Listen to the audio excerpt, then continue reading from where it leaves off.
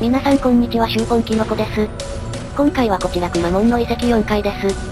階段の位置と同じ穴に、落ちていくというステージ。ここって、くまモン青鬼に合わないまま、終わる方も多いと思います。それじゃ、くまモン青鬼がどこに行っちゃったのか、検証したいと思います。それではやっていきます。横に全体マップを表示しますので、参考にしてください。今回は進化した清正くまモンです。戦国武将、加藤清正がモデルですね。かっこいいです。さて、ここにくまモン青鬼が出現です。一応、近くにいると追ってきます。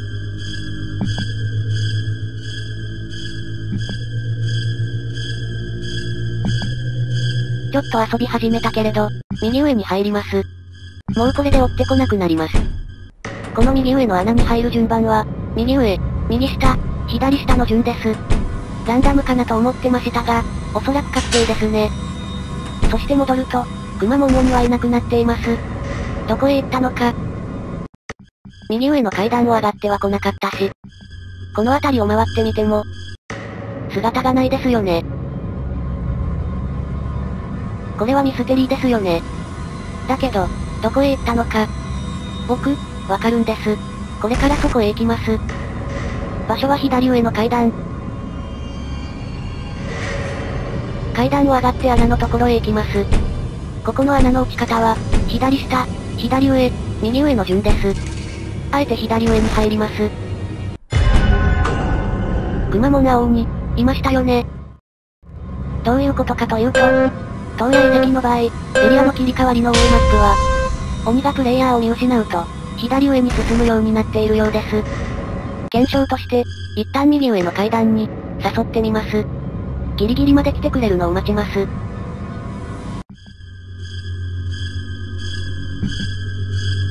そして階段へ、さらに階段を上がると、もう見失うようです。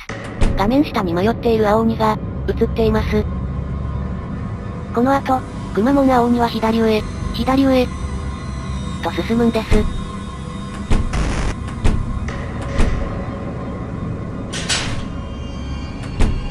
さっきと同じ場所にはまっていると、思います。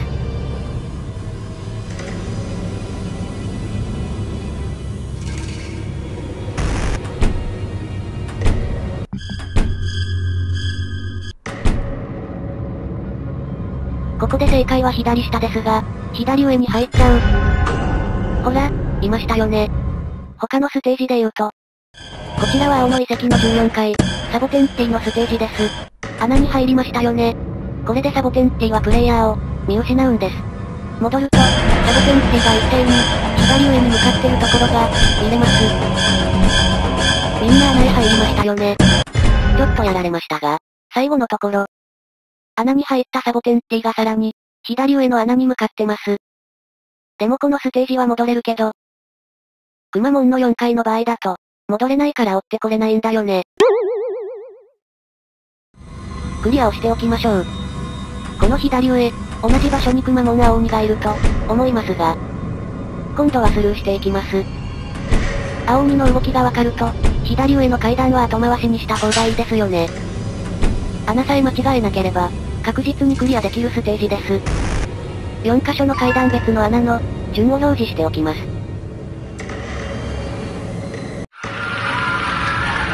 最後はちゃんとクリア。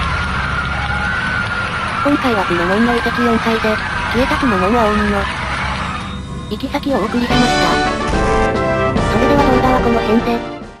ご視聴ありがとうございました。